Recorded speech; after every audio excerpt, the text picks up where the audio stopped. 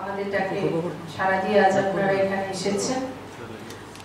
আমাদের মহিলা মোর্চার প্রদেশ সভানেত্রী মাননীয়া ঝর্ণা দেববর্মা উনি বলেছেন যে কি উদ্দেশ্যে আজকের এই সাংবাদিক সম্মেলন।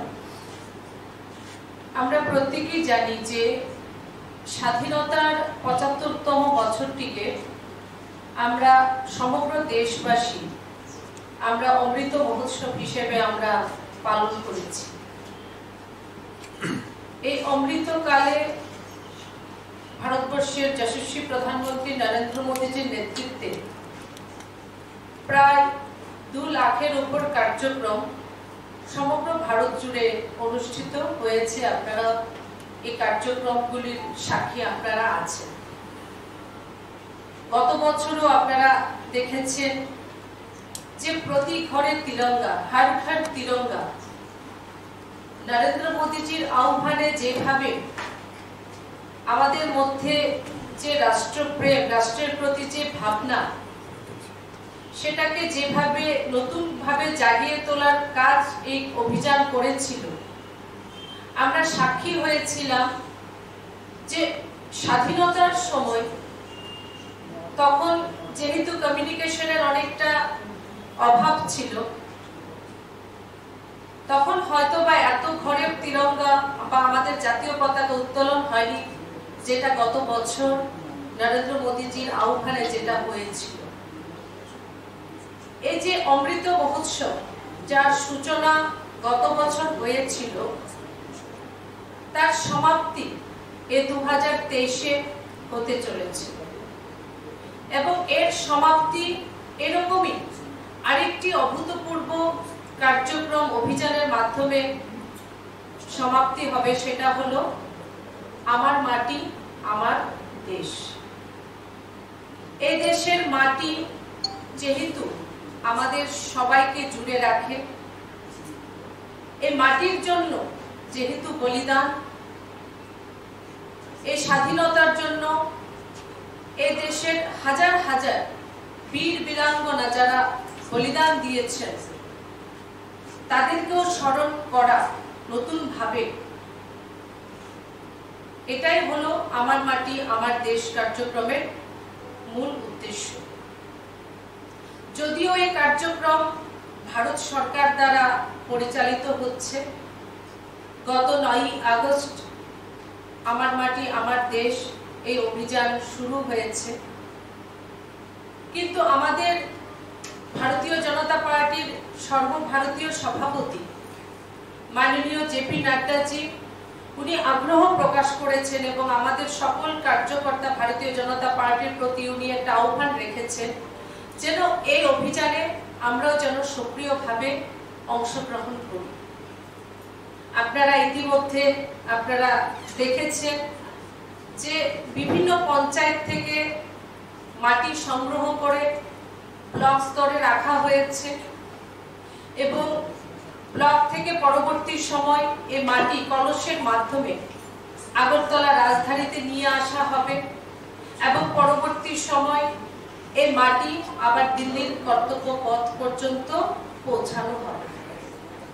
ঠিক একইভাবে ভারতীয় জনতা পার্টি ত্রিপুরা প্রদেশ আমরা নতুন ভাবে কার্যক্রম নিয়েছি। যে কার্যক্রম আজ থেকে প্রত্যেক মন্ডলে প্রত্যেক মন্ডলের অন্তর্গত প্রত্যেক বুথে সেটা শুরু হয়ে গেছে। এবং যে অভিযানে, আজকের এই অভিযানে আমাদের প্রদেশ সভাপতি থেকে শুরু করে আমাদের রাজ্যের মন্ত্রীগণ, বিধায়কগণ এবং প্রদেশ জেলা নেতৃত্ব প্রত্যেকে আজ এই অভিযানে সামিল হয়েছে আজ প্রতিটি বুথে, এই রাজ্যের প্রতিটি বুথে আমরা অমৃত কলস নিয়ে। আমাদের রাজ্যের প্রত্যেক নাগরিকদের আঙিনা থেকে এক মুঠো করে পবিত্র মাটি আমরা সংগ্রহ করছি। এই অভিযান আগামীকালও চলবে রাজ্যের প্রতিটি বুথে এবং আগামীকাল সন্ধ্যের সময় প্রত্যেক বুথ থেকে সংগৃহীত মাটির কলস সেটা প্রত্যেক মন্ডল কার্যালয়ে মন্ডল সভাপতির হাতে অর্পণ করা হবে। এবং চোদ্দই সেপ্টেম্বর আমাদের রাজ্যের ষাট জন মন্ডল সভাপতি, সেই মাটির কলস আমাদের প্রত্যেক রাজ্যের যে দশটি জেলা কার্যালয় আছে, সেই জেলা কার্যালয়ে জেলা সভাপতির হাতে সেটা অর্পণ করবেন এবং পনেরোই সেপ্টেম্বর পনেরোই সেপ্টেম্বর আমাদের জেলা সভাপতি যারা আছেন, রাজ্যের দশটি জেলা আছে সাংগঠনিকভাবে সে দশজন জেলা সভাপতি, পনেরোই সেপ্টেম্বর আগরতলা আমাদের প্রদেশ কার্যালয়ে এসে আমাদের প্রদেশ সভাপতির হাতে সেই অমৃত কলস, মণ্ডল থেকে সংগৃহীত যে ষাটটি অমৃত কলস, সেটা আমাদের প্রদেশ সভাপতির হাতে অর্পণ করবে।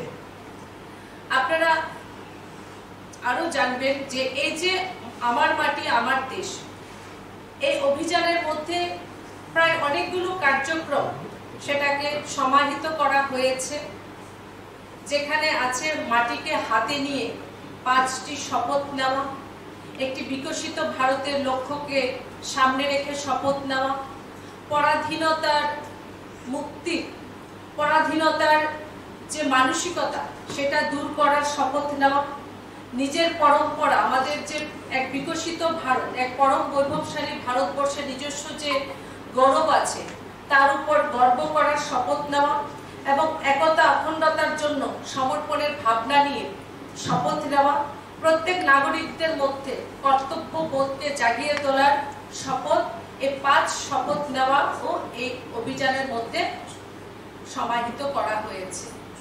তাছাড়া আমাদের ভারতবর্ষের স্বাধীনতার জন্য যারা বীর বীরাঙ্গনা, যারা শহীদ হয়েছিলেন, এরকম অনেক বীর বীরাঙ্গনা আছেন যাদের স্থান হয়তো বা ইতিহাসের পাতায় হয়নি। তাদেরকেও মনে রাখা নতুন ভাবে স্মরণ করা এই কার্যক্রমের একটা গুরুত্বপূর্ণ অংশ।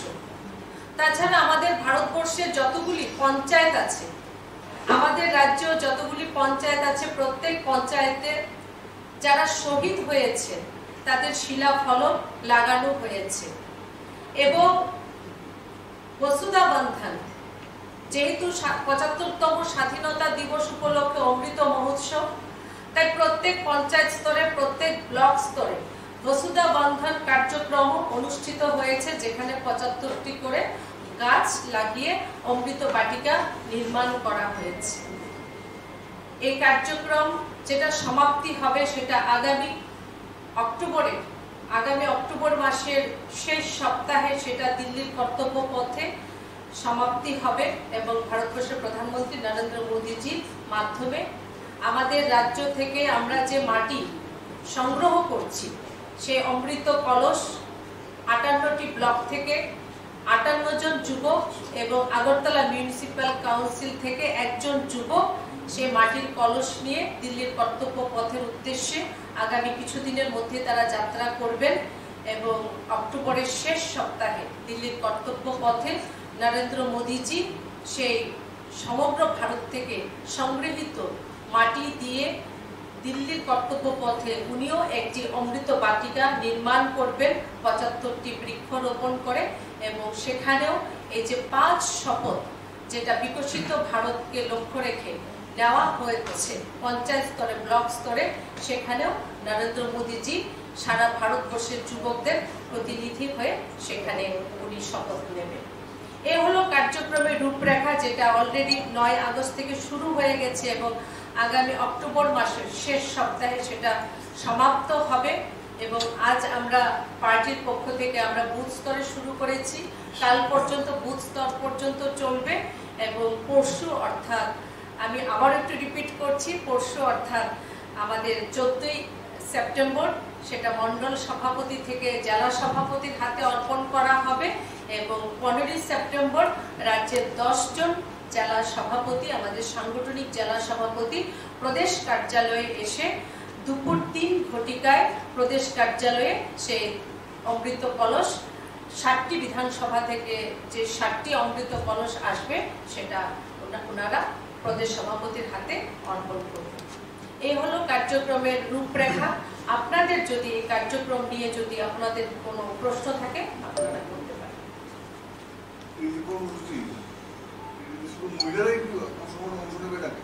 না। না এরকম না। দেখুন এটা এরকম একটা কার্যক্রম। আমাদের ভারতবর্ষের যশস্বী প্রধানমন্ত্রী উনি এরকম ভাবে কল্পনা করেছেন যেখানে এই ভারতবর্ষের প্রত্যেক নাগরিকদের কন্ট্রিবিউশন আছে। যেরকম আমরা যখন মাটি সংগ্রহ করছি আমরা কিন্তু প্রত্যেক বাড়িতে যাচ্ছি প্রত্যেক বাড়ির গৃহের আঙ্গিনা থেকে মাটি সংগ্রহ করছে অর্থাৎ প্রত্যেকের আপনাদেরও কিন্তু এখানে একটা কন্ট্রিবিউশন থাকবে এটা প্রত্যেকের কার্যক্রম। মাটি দেওয়া নিয়ে আপনি মানুষের থেকে কীরকম সারা পাচ্ছেন ভীষণ আমি গত বছর তিরঙ্গা যে একটা অনুভূতি আমি দেখেছি মানুষের মধ্যে রাষ্ট্রের প্রতি সে একই অনুভূতি কিন্তু করছি। আজ আমি, যখন আমি গেলাম, আমিও কিছুক্ষণ আগে আমাদের মহিলা মোর্চার সভানেত্রী উনিও বামুটিয়াতে উনি গিয়েছিলেন। আমিও ছয় আগরতলা বিধানসভা কেন্দ্রের অন্তর্গত ফর্টি এইট নম্বর বুথে গেছি, কয়েকজনের বাড়িতে গেছি।